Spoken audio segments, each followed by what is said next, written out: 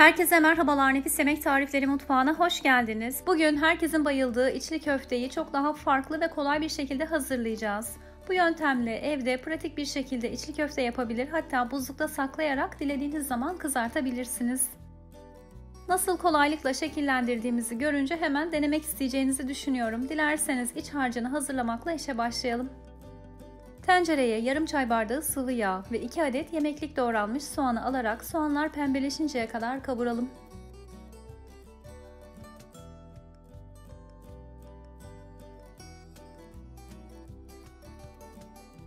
Ardından 250 gram kıymayı ilave edelim. Kıymayı tahta kaşığın ucuyla bu şekilde ezerek yaklaşık 5 dakika kadar güzelce kavuralım.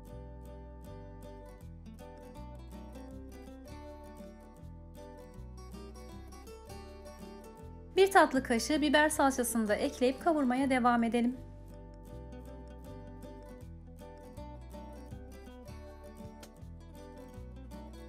Daha sonra kimyon, karabiber, pul biber, bir tutam kıyılmış maydanoz, yarım su bardağı çekilmiş ceviz ve son olarak tuzu ilave edelim.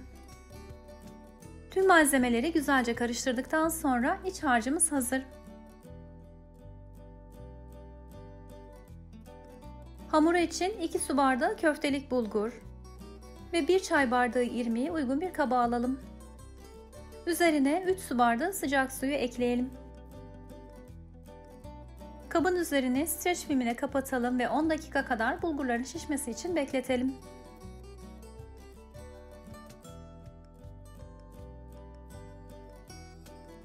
Sürenin sonunda streç filmi çıkartalım ve 1 çay bardağı un, 1 adet yumurta, 1 tatlı kaşığı biber salçası, karabiber, pul biber ve tuzu ekleyelim. Elimizle yoğurarak tüm malzemelerin iyice karışmasını sağlayalım. Bu aşamada bir püf noktası paylaşmak istiyorum. Elinizi ıslatarak daha rahat yoğurabilirsiniz. Artık şekillendirme aşamasına geçebiliriz. Streç filmimizden bir parçayı keserek tezgahın üzerine alalım. Ardından hazırladığımız hamurun bir kısmını streç filmin üzerine alalım. Daha sonra streç filmden bir parça daha alarak bulgurun üzerini kapatalım.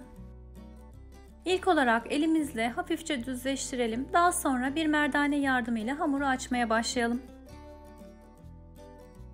Streç film sayesinde bu aşama gerçekten çok kolay olacak. Gördüğünüz gibi hem açmak çok basit hem de hamur merdaneye hiç yapışmıyor. Hamuru videoda gösterdiğim inceliğe getirdikten sonra üstteki streç filmi çıkartalım.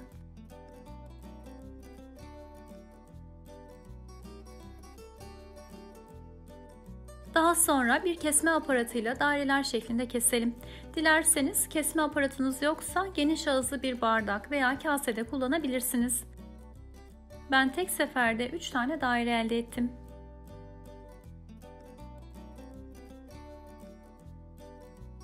Kenarlarda kalan hamurları ayırdıktan sonra her bir dairenin ortasına hazırladığımız kıymalı harçtan bolca yerleştirelim.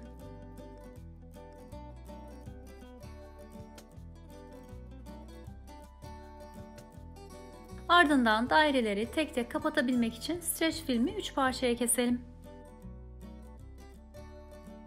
Son olarak içli köftelerimizi ortadan ikiye olacak şekilde katlayalım.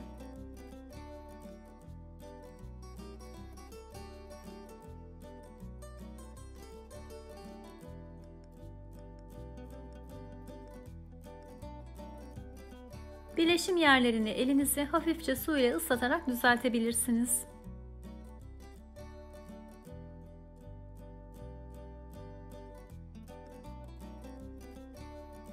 Tüm hamur bitinceye kadar aynı işlemleri tekrarlayalım. Ben bu ölçülerle hazırladığımda bu harçtan toplamda 31 adet içli köfte elde ettim. Sizin kullandığınız kesme aparatının boyutuna göre bu sayı değişebilir.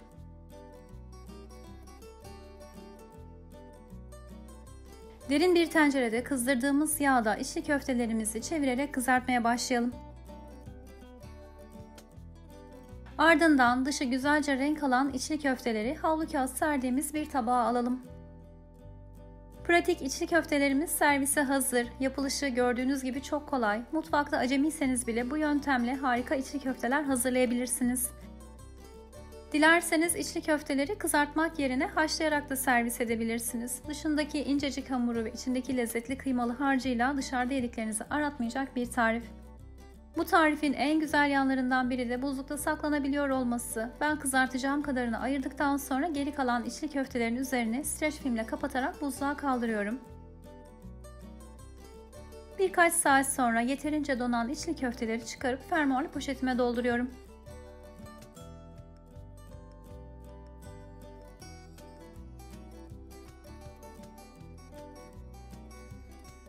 Üzerine tarihi yazıp dilediğim zaman kullanmak üzere buzluğa kaldırıyorum. Siz de içli köftelerinizi önceden hazırlayıp aynen bu şekilde buzluğunuzda bekletebilirsiniz. Gerçekten çok kurtarıcı olacaktır. Tarifi deneyecek herkese şimdiden afiyet olsun vakit ayırıp videoyu sonuna kadar izlediğiniz için özellikle teşekkürler.